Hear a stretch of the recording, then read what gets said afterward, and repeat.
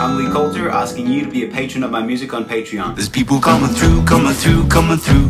People like you and you and you. Why subscribe to my art? Because we need hope, we need optimism. We can't get anything done if we don't believe it can be done. You'd never be this sad or low. If you knew the you there, you don't know. I make art to help us acknowledge the ups and downs of the human experience so that we might feel connected in our journeys. And last night, like it's a stop, stop, fall apart roller coaster. To be a man in this world who promotes kindness and compassion and equality. Still, I don't understand it. Why's he hurting that man?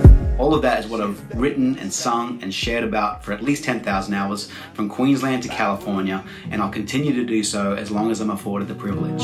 I want love, I want love, I want love.